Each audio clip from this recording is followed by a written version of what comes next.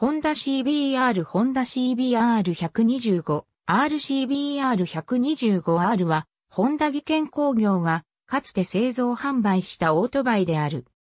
免許制度により 125cc クラスが活況なヨーロッパ市場向けとして、主に販売されているモデルで、対応国の現地法人である、タイホンダマニファクチュアリングカンパニーリミテッドが製造する CBR150R をベースに排気量の異なるエンジンを搭載する。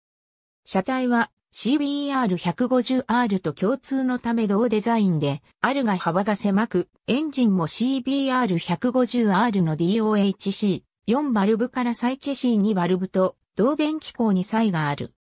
車体構造はそのままだが、CBR600RR をモチーフにしたデザインとなり、ヨーロッパの自動車排出ガス規制ユーロ3多用のため燃料供給をキャブレターから PGM 電子式燃料噴射装置へ変更した CBR150R と共にフルモデルチェンジを実施。VFR1200 回をモチーフにした CBR250R 同様の車体デザインとなった。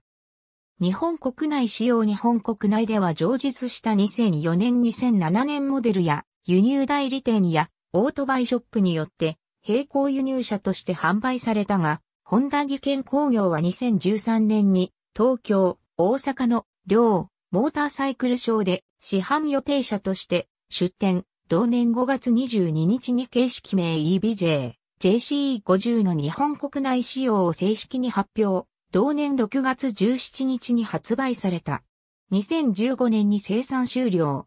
CBR150R を並行輸入販売しているエンデュランスの独自モデル。